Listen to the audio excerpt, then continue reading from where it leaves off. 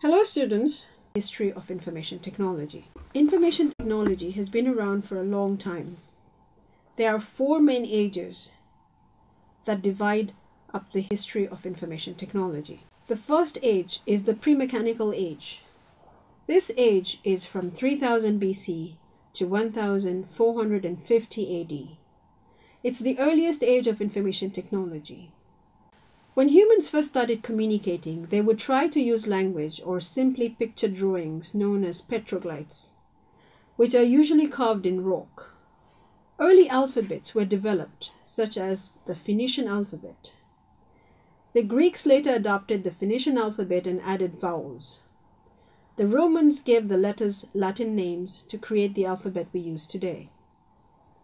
As alphabets became more popular, more people were writing information down.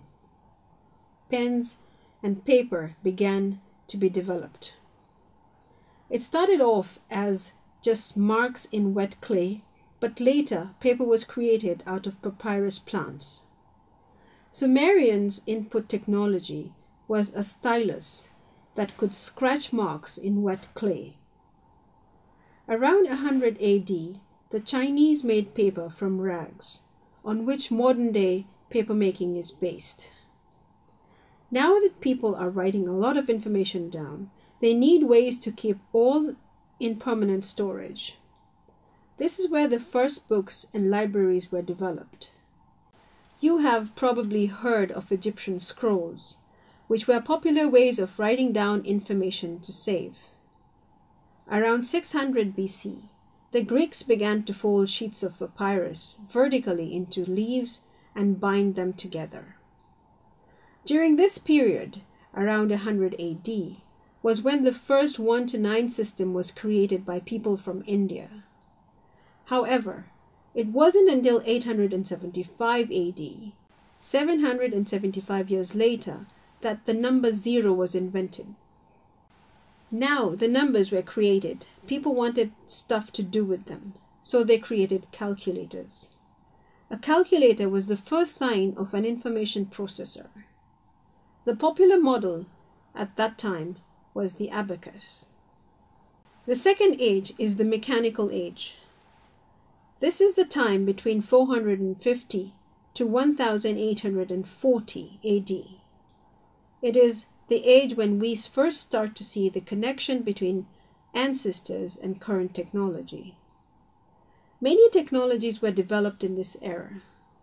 Slide rules, the Pascaline, and Leibniz's machine. The slide rule. Charles Babbage developed the difference engine, which tabulated polynomial equations using the method of finite differences. John Gutenberg invented the movable metal type printing process in 1450. The development of books, indexes, and a widespread use of page numbers. The first general purpose computer, actually, people who held the job title computer were the ones who worked with numbers. The third mechanical age was the electromechanical age. This resembles our modern day technology. It can be defined as the time between 1840 and 1940 AD. Beginnings of telecommunication started in this period. The telegraph was created in the early 1800s. Morse code was created by Samuel Morse in 1835. The telephone was created by Alexander Graham Bell in 1876. The first large-scale automatic digital computer in the United States was the Mark I, created by Harvard University around 1940. This computer was 8 feet high, 50 feet long, 2 feet wide, and weighed 5 tons. Huge. It was programmed using punch cards. It was operated through the use of punch cards, and it was nothing like our modern day computers.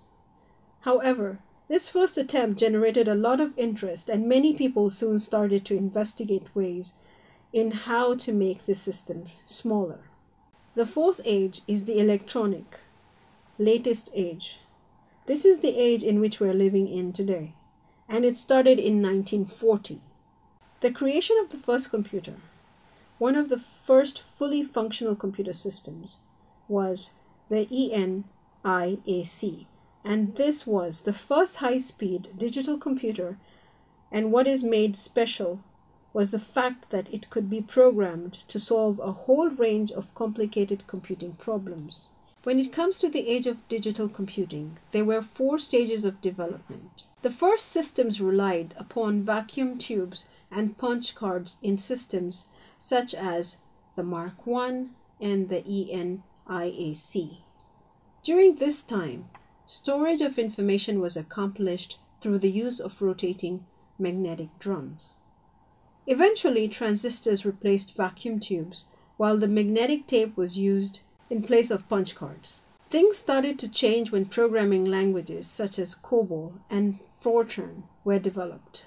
Eventually, integrated circuits took the place of transistors, and metal oxide semiconductors became the preferred media for information storage.